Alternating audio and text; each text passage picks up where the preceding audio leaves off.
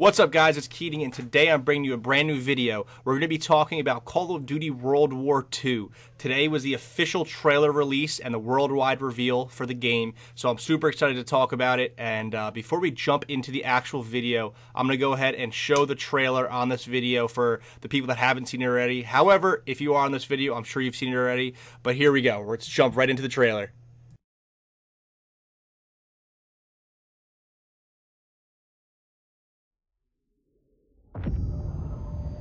This day have set upon a mighty endeavor. Souls will be shaken with the violences of war. In this hour of great sacrifice, we shall prevail.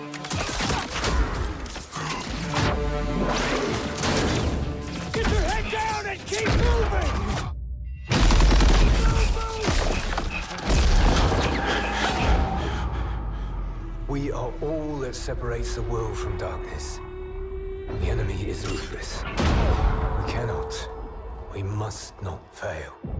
Duty first. Perez! Won't be enough for you!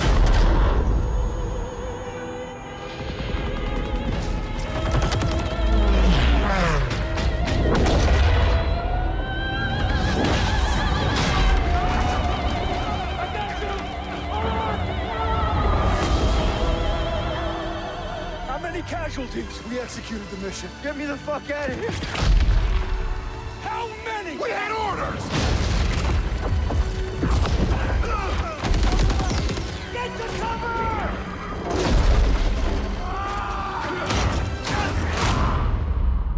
Lieutenant, tell them what we're all about. No mission too difficult. No sacrifice too great. Welcome to the Bloody First. You're a long way from Texas, farm boy.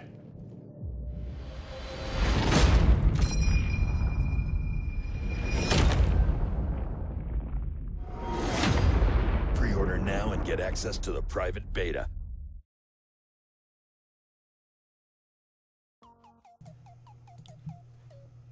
Okay, so now if that wasn't exciting enough, uh, they're going to be coming out with a beta. And now it's going to be coming out sooner than later. Uh, a lot of people think it's to be late August or something, but I have heard from Intel that it will be released next month. So I'm super excited for the beta. Um, if you go and pre-order the game, you get a code, and you can use that as always to unlock the beta and play. And like I said, that will be next month. I, I don't know any specific dates or anything, but I've heard through the grapevine that it'll be at the at, at the beginning or end of next month. So I'm super excited for it, and I'm really looking forward to the beta uh, to provide more gameplay for you guys. So let's jump into it, and we'll talk about a little bit a little bit about the game during the live stream, they didn't give us much information. They really just showed the trailer and talked about it. And uh, there's not really much more information I can give you, but I definitely want to talk talk about the game a little bit in this video. And um, you know, I, I really want to hear everybody's opinion uh, on the game and what they think it's going to be like um, and stuff like that. So, um, first things first, like I said, the beta. Um, that's to be super exciting to play. Now, obviously, as always, it's going to be released on PlayStation first. PlayStation should have it for about a week, and then they're going to jump over and uh, release it for Xbox. Um, and, and, usually, if you're on PlayStation, they'll release it for two weeks, as opposed to Xbox only one week. Myself, I have two consoles. I have both PlayStation 4 and Xbox One, so I'm in luck. I will be able to play on both systems, and I'm pretty pretty sure I should get like three weeks out of the beta. Um, give or take. So it, it, really depends how long they release it. If it's the same uh, beta as always, you know, they usually do it for a week on one console and a week on the other. So we'll see how it goes, and um, we'll go from there. Um, and jumping further into the video, I want to talk about a brand new thing they're releasing. It's called Headquarters. Now it looks like a like a, a pre-game lobby in a way, almost. They they gave absolutely no information on it. They gave maybe a five-second clip, and um, uh, moving into that, obviously max max level is going to be level 55.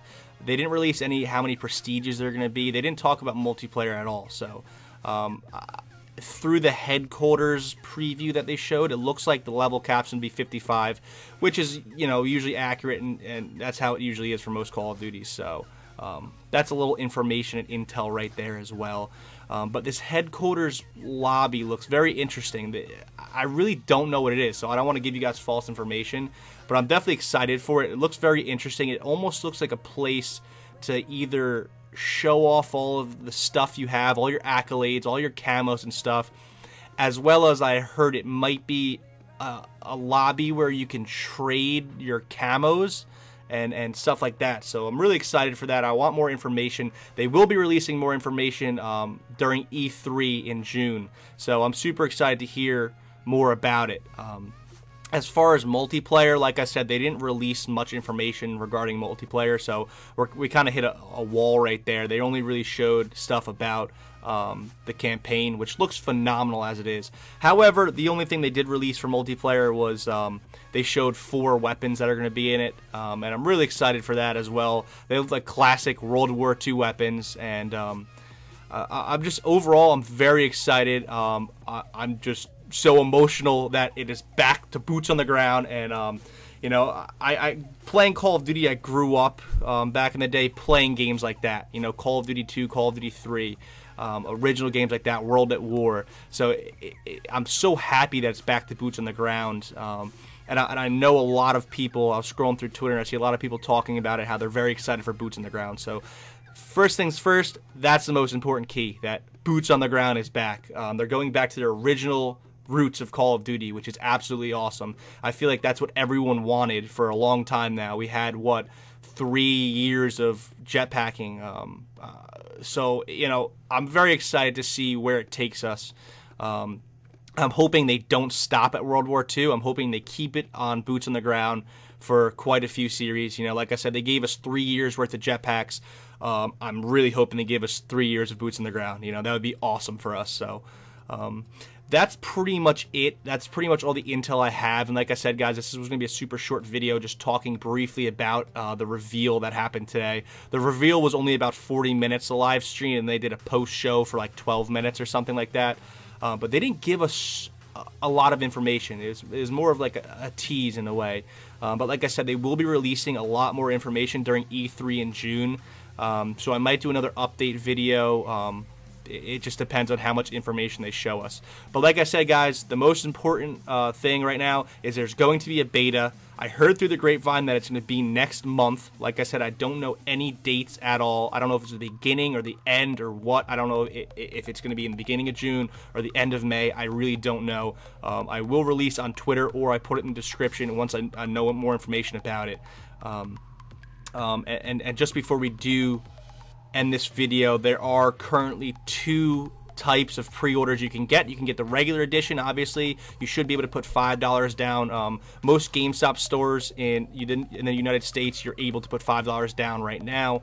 Um, I just pre-ordered the game and I put $25 down on the Pro Series edition, which has, uh, I have the paper in front of me, it has the Season Pass and a couple other um, cool features.